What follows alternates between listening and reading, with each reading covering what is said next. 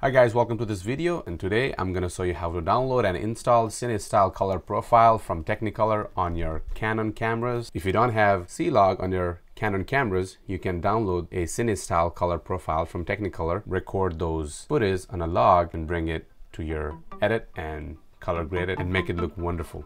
So let's look at some clips that I took using CineStyle color profile and once we come back I'm going to show you how to download and install it on your Canon cameras.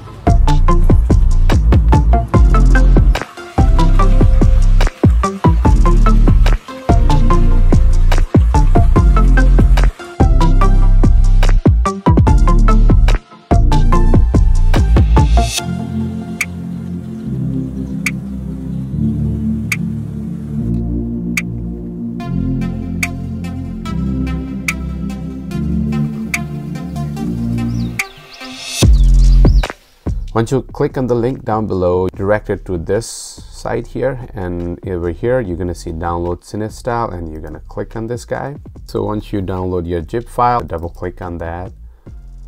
And then here are the files that you will be looking for. All right, once you download CineStyle, you're gonna click on the link for Canon USA. Uh, it depends which country you are at. It, the link might be different for you. But if you go to google.com and just type EOS utility download and it will probably just take you here and just click on the link. Down here you're gonna search for your camera. Mine is Canon 80D so I'm just gonna click for Canon 80D here for the software you're gonna choose your operating system. Some under here you're gonna find EOS utility for Mac OS now this is what I'm looking for. I'm gonna select it and I'm gonna download this guy so once you have installed EOS, you're going to open the zip file. Now this is the DMG file you're looking for. You don't have to click on it. And you can install the EOS utilities. I have already installed on mine, so go ahead and you do on yours. Once you connect your camera with your laptop or computer using the cable, this is the screen you're going to get to. So now here you're going to go for camera setting make sure your date and time is correct. So under register picture style files you're going to click that. As you can see I have already selected my Cine style color profile for user definition 2 once you're ready you're going to click on this folder here place where you have downloaded your zip file and this is where you're going to choose here and hit open.